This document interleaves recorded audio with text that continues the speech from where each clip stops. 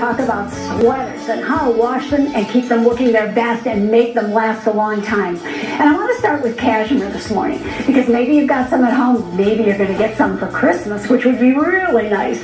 Um, to wash them, you can do that and you don't have to take them to the dry cleaners if you do it the right way. So first of all, cashmere. It's goat hair. So you want to treat it like hair. So try some baby shampoo in a sink of cold water. Now you don't want to use warm or hot water on cashmere. Put a couple of squirts in, then you're going to squeeze it. You're never going to wring, you're never going to rub. You're just going to squeeze that soap through it. When you're done, rinse it a couple of times in cool water doing the same thing, squeezing it, and add a little hair conditioner to the last rinse to keep that hair nice and soft.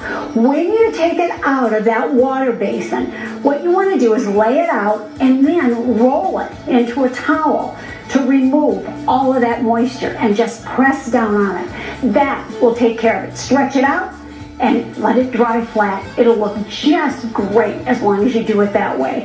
Now, if you have blends, that's sweaters that have all kinds of different blends in them, cotton, polyester, acrylic, rayon. What you're going to do is put them into a lingerie type bag, a delicates bag, and use your favorite detergent. I like to turn them wrong side out too. For a great spotter for your sweaters, try making your own with some Sal Suds. Fill up a bottle of warm water and add one half teaspoon of Sal Suds to it. Spray it on any spots and stains and launder as usual. Now, if you got jeweled sweaters, things like this that you don't maybe wear all the time, if you want to freshen them, instead of washing them, use vodka. Put it in a spray bottle and then lightly mist those areas under the arms and around the neck. If you're going to wash them, use a mild detergent.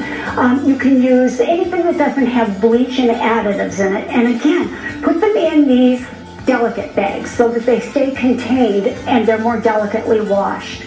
Now, if you have wool sweaters that make you itch, and that happens to me sometimes, I have found that if you'll take the sweater, put it in a basin of water, add a tablespoon or two of glycerin to that, that it will take that itch away. You're just going to saturate it in the water with the glycerin, squeeze it through, and then you can spin it out in the washing machine and that will stop the itch.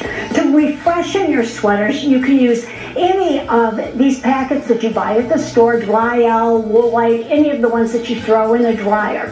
Now, they don't clean, but they do freshen. If you have sweaters that have pills on them, a razor is your best friend. That's all you need. You're just going to take it, and go down the sweater across the pills and it'll take them right off.